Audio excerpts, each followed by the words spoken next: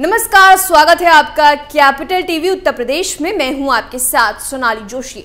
प्रधानमंत्री नरेंद्र मोदी ने यूपी के सीएम योगी को कर्मयोगी बताया है, ये तो हम जानते ही हैं। लेकिन अब हाल ही में केंद्र रक्षा मंत्री राजनाथ सिंह ने भी उत्तर प्रदेश की बदलती तस्वीर के बारे में एक बड़ी बात कह दी। हाल ही में महाराजगंज में एक कार्यक्रम के दौरान उन्होंने कहा कि सूबे के भगवादारी मुखिया ने अपराधियों के मन में ऐसा डर बैठा दिया है कि अब सीएम योगी का नाम सुनते ही उनका दिल तेज़ी से धड़कने लग जाता है। आगे क्या कहा सीएम योगी के बारे में केंद्र रक्षा मंत्री का, बताएँगे आपको इस रिपोर्ट में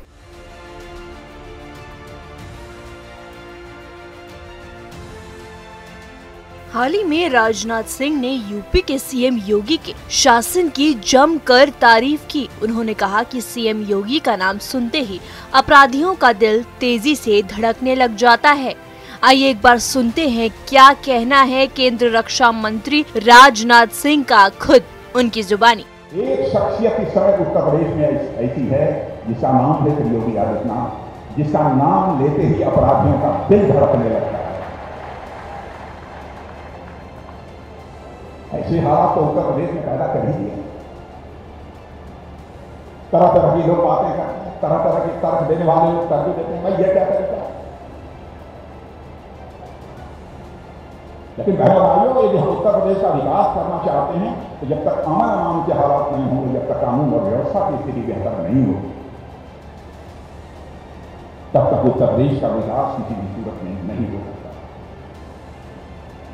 और मैं देख रहा हूँ, योगी जी धार्मिक अनुष्ठान भी कर रहे हैं, प्रतिदिन धार्मिक अनुष्ठान भी करते हैं, और साथ ही साथ उत्तर प्रदेश में विकास के नए नए मानदंड भी स्थापित करने का काम केंद्र रक्षा मंत्री राजनाथ सिंह ने कहा कि मुख्यमंत्री योगी आदित्यनाथ की अगुवाई में उत्तर प्रदेश विकास के पद पर तेज़ी से आगे बढ़ रहा है और इसे अब उत्तम प्रदेश बनने से कोई नहीं रोक सकता उन्होंने कहा कि कभी उत्तर प्रदेश में गुंडे वर्दी पर भारी पड़ते थे, आज वर्दीधारी उन गुंडों पर भारी हैं। योगी सरकार ने अपराधियों की अठारह करोड़ रुपए की संपत्ति जब्त की है अपराधियों का मनोबल तोड़ना और सज्जनों का मनोबल बढ़ना ही सत्ता का धर्म है।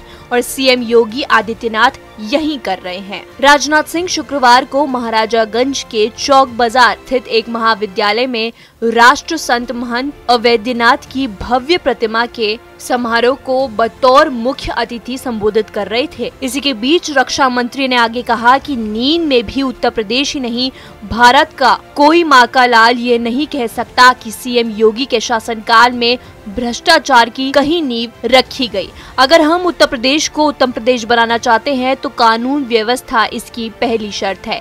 इस सच्चाई को कोई भी नहीं नकार सकता। यहाँ तक हमारे विरोधी भी नहीं। यूपी में योगी आदित्यनाथ एक ऐसी शख्सियत है, जिनका नाम लेते ही अपराधियों का दिल धड़कने लगता है। उन्होंने कहा कि पीएम मोदी की सूझबूझ देखिए। 2017 में जब उत्तर प्रदेश की कमान सौंपने की बात आई तो उन्होंने योगी आदित्यनाथ को चुना, जो कि एक बहुत अच्छी बात है। रक्षा मंत्री ने कहा कि आज भारत। कमज़ोर नहीं, दुनिया का ताकतवर देश है। सेना को हमने हिदायत दे रखी है कि पहला आक्रमण हम नहीं करेंगे।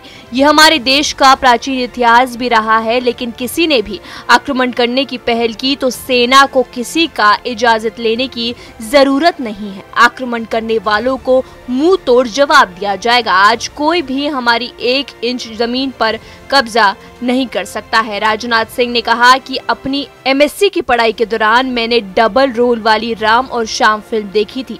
किसी एक्टर का डबल रोल तो देखा था, लेकिन आज मैं योगी आदित्यनाथ को डबल नहीं मल्टीपल रोल में देखता हूँ, ये अद्भुत रोल है।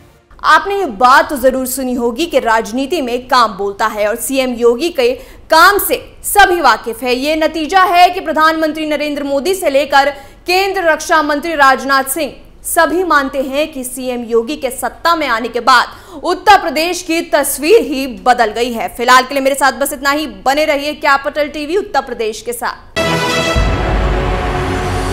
आपको हमारा वीडियो पसंद आया हो तो इसे लाइक करें, हमारे channel capital TV Uttar Pradesh को सब्सक्राइब करें, और हाँ बेल आइकन दबाना ना भूलें, ताकि आप तक हमारे वीडियो की नोटिफिकेशन पहुँचती रहे। आप अपना सुझाव हमें कमेंट बॉक्स में दे सकते हैं। हमारे साथ जुड़ने के लिए शुक्रिया।